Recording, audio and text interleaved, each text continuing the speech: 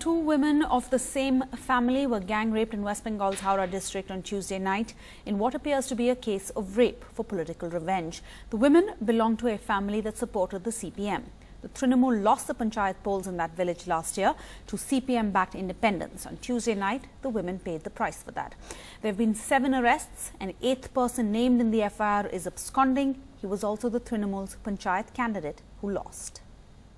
ধর্ষণ করে যারা তাদের কোনো জাত থাকে না তাদের কোনো রং থাকে না আপনি আমার দলের কথা বললেন আপনি যেমন চব্বিশ ঘণ্টার লোগোটা ধরছেন বা জিটিভির লোগো ধরছেন আপনাকে আইডেন্টিফাই করা যাচ্ছে কিন্তু যে মানুষটা ধরছে তার কি মেম্বারশিপ কার্ড দেখেছেন Trinamool MP Mukul Roy lost his temper when asked about his party's link to the gang rape in Howrah.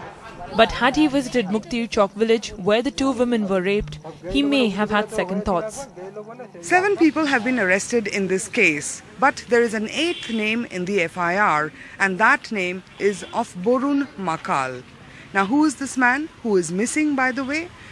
The answer lies in this wall writing over here.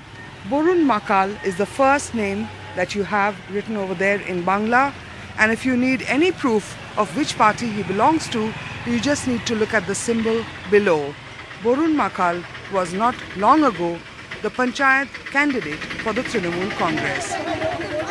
This woman's husband has been arrested for the gang rapes. Also, this woman's son.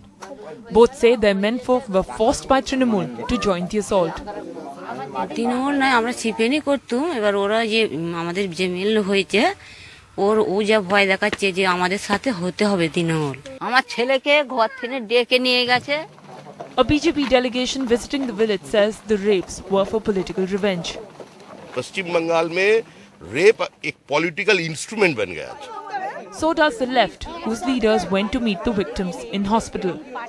to some extent you may say that this is a rape for Political political, vendetta. defense. Back in Muktir Chowk, an uneasy calm and an uneasy question. What will political parties do next in their battle for turf?